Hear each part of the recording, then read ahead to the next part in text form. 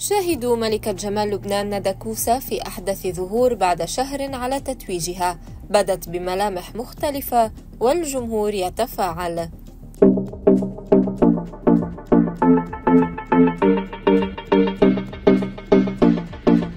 شاركت ملكة جمال لبنان ندى كوسة مع متابعيها على حسابها عبر إنستغرام مجموعة صور جديدة لها من آخر جلسة تصوير بمناسبة مرور شهر على فوزها باللقب الجمالي.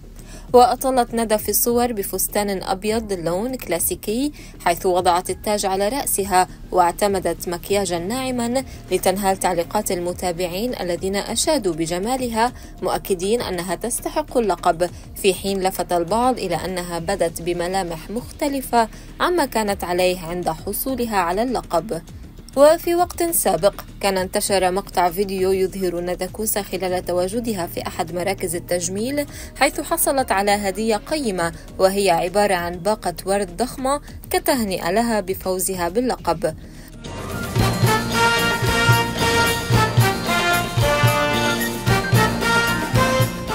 وبدت ندى في الفيديو سعيدة للغاية وشكرت كل من هنأها معبرة عن سعادتها الشديدة وواعدة بأن تمثل بلدها لبنان أحسن تمثيل.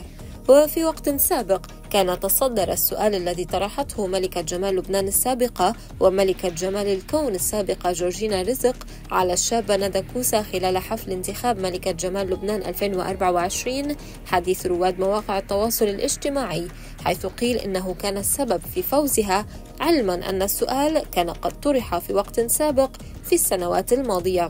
وفي التفاصيل سألت جورجينا رزق الشابة ندى كوسا عن الاسم الذي تختاره من بين المتسابقات لتكون ملكة جمال لبنان 2024 فقالت ندى إنها ستقوم بتقسيم التاج على جميع المشتركات كونهن تستحق اللقب ليتم بعدها انتخاب ندى كوسا ملكة لعام 2024 هذا السؤال أعاد الذاكرة لعام 2012 وتحديدا مسابقة ملكة جمال لبنان حيث تنافست رينا شيباني وشقيقتها رومي شيباني على اللقب.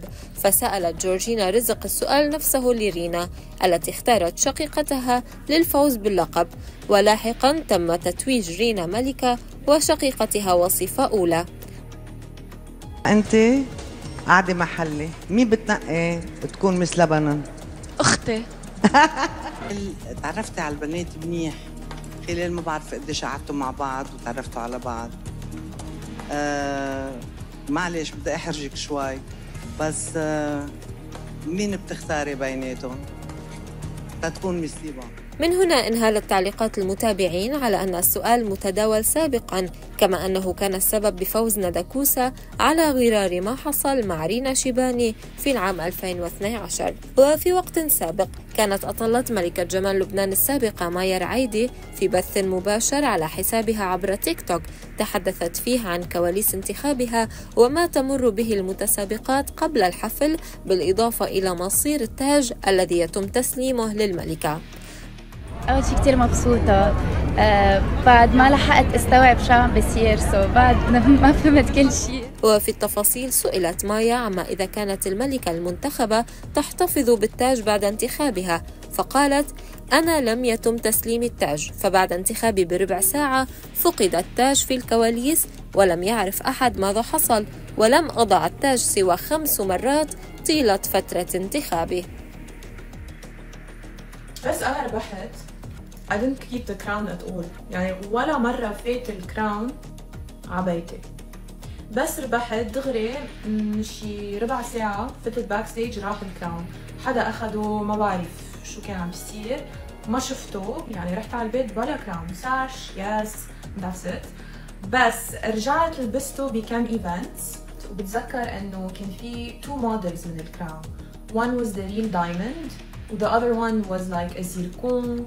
like not real diamonds just for safety بس بيناتنا بحس انه كان كله مش real diamonds كان pure marketing و there was one crown that عملوه super expensive مدري قد كان حقه uh, apparently it was a lie انه ما كان معي for security purposes none of this was real و I never had the crown لبسته يمكن maximum خمس مرات بصراحة I didn't want to wear the crown لأنه I felt like it was too much uh, going inside a charity organization a Red Cross with a crown is not humble it's weird و